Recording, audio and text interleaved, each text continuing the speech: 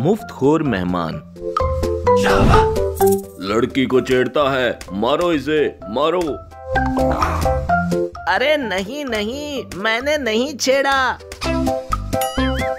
हाँ हाँ इसी ने छेड़ा और प्रॉपर छेड़ा। नहीं नहीं प्रॉपर तो नहीं छेड़ा। मर गया। बचाओ बचाओ।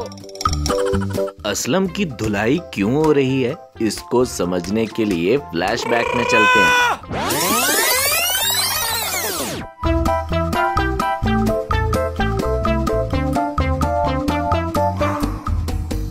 खाने का असल मज़ा तो नींबू के साथ है। हाँ कह तो तुम ठीक ही रहे हो। मैं तो हमेशा ही ठीक कहता हूँ जनाब। ये कहकर नींबू सालन में डालने लगा। अरे अरे ये तो मेरा है। तो मैं कौन सा कह रहा हूँ मेरा है? और रोटी के टुकड़े को सालन के साथ लगाकर खाने लगा। हम्म शानदार। इतना मज़ा आ रहा है तो अपना लेकर खा लो ना। इतना खाना क्या कबर में लेकर जाओगे? थोड़ा सा खा लूँगा तो क्या हो जाएगा?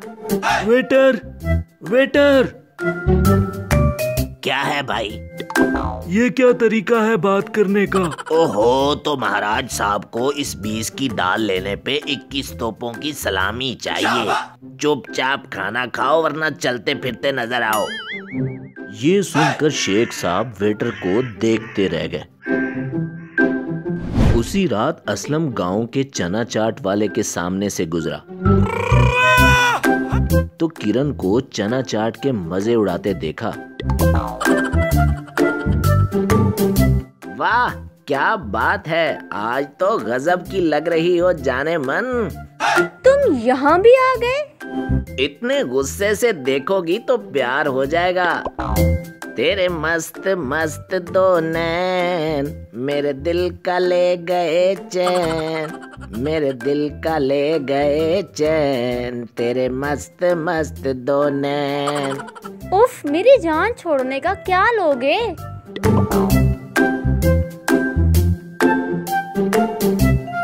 फ़िलहाल चाट ही खिला दो। बाकी लेना देना तो लगा ही रहेगा। ओहो ये मेरा टेबल है उठो यहाँ से। तुम क्या जहेज में लेकर आई थी प्यारी औरत? तुम्हारी इतनी हिम्मत? तुमने मेरी चाट कैसे खाई? चम्मच से खाई। रुक तुझे तो मैं बताती हूँ। अरे अरे बाजी मैं तो मज़ाक कर रहा था। असलम को मार पड़ते देख बहुत से लोग इकट्ठे हो गए। लड़की को छेड़ता है मारो इसे। सारी रात हॉस्पिटल में रहने के बाद सुबह अपने दोस्त नवीद के साथ हाय हाय करता घर की तरफ़ चल पड़ा। कितनी बार समझाया था मुफ़्त खोरी छोड़ दे अब आया मज़ा। मुफ़्त में खाने का मज़ा तुम क्या जानो शहरी बाबू? हाँ हाँ नज़र आ रहा है। एक दिन असलम घर के सोफा पे बैठा टीवी देख रहा था कि ऐलान की आवाज़ आई। हजरात हजरात एक ज़रूरी ऐलान सुने। हमारे गाँव में ना वो वो खुल गई है। वही जिसमें बैठकर नहाते हैं। नहीं नहीं मेरा मतलब खाते हैं। वो खुल गया है। जिसने कुछ खाना है, वो जाकर खा ले। ऐलान खत्म हुआ। इस बार ऐसा मुर्गा फंसाऊँगा कि सब देखते रह जाएँगे। ये कहकर रेस्टोरेंट की तरफ़ चल पड़ा। रेस्टोरेंट पे लोगों की भीड़ देखकर दिल ही दिल में।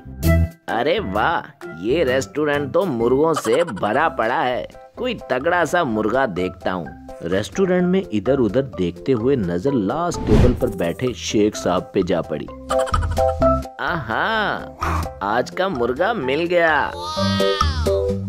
ये कहकर शेख साहब के टेबल पे जा पहुँचा। चचा जान, तुम तुम यहाँ भी आ गए।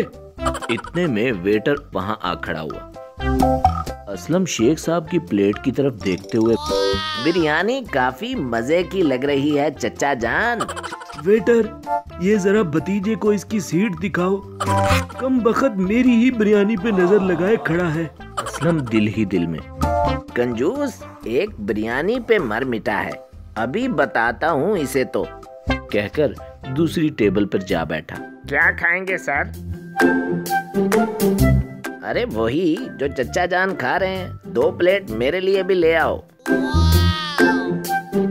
अभी लाया बस दो मिनट में। कुछ ही देर में वेटर बिरयानी की प्लेट ले आया। ये लो सर आपकी full size double plate biryani. हम्म, खुशबू तो बहुत अच्छी आ रही है। कहकर मज़े से सारी बिरयानी खाई और काउंटर पे जा पहुँचा। सर ये आपका बिल। अरे इसमें टिप तो तुमने ऐड ही नहीं की। इसमें दो सौ रुपए टिप ऐड करके बिल वो लास्ट सीट पे बैठे मेरे चचा को दे दो। वो सारा बिल एक साथ देंगे। चचा जान मैं जाऊँ फिर? हाँ हाँ जाओ जाओ।